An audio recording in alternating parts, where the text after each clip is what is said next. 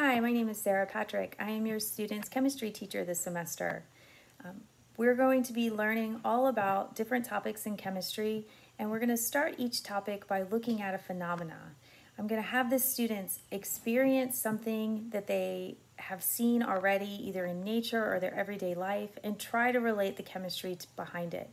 Then we're going to spend a week to two weeks learning about that topic. Every day we have a Zoom meeting, depending on the class period and it's 30 to 45 minutes of instruction or extra practice for what we've been learning. We have two platforms that we're going to use for our virtual learning. The first one is Schoology, and then the other is OneNote. We have a remind for our class, and your student has the code for that remind, or you can email me and I can give you the code directly. It's a great resource for our students to send me questions or um, get help when we're not in our Zoom meeting. And it's a great way for me to give updates for what's going on in the class, updates for assignments, or if uh, our technology isn't working as well as we would like it to be, I can send things through Remind and students can get it immediately. They don't have to wait for the technology for the Schoology to work or the OneNote to work. So it's a really great resource and hopefully all the students will eventually, if they haven't already, sign on to Remind. For our class, we do need a calculator.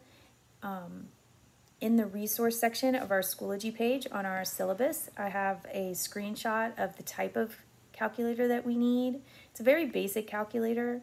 Right now, with students being at home, they can obviously use their phones or their lap iPads as calculators, but once we finally get back into the classroom, which hopefully will be sooner rather than later, they're going to need a calculator. They can't use their phone or their iPad as a resource for that.